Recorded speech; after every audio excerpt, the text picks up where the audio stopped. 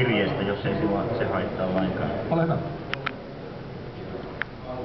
Söin Tex-Mex-baarissa all day breakfastin, paskaa papupiirasta mauttomalla juustokuorella.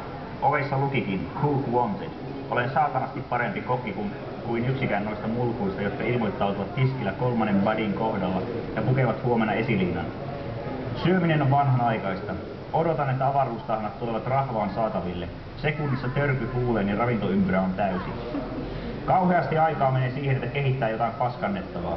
Jumalaa ei ole, koska hän jätti luomuksensa Persikkarva-nimisen vitsauksen. Eikä kivespussiakaan tarvittaisi, jos hän olisi keksinyt vatsaontelon lämpötilassa säilyvät siittiöt.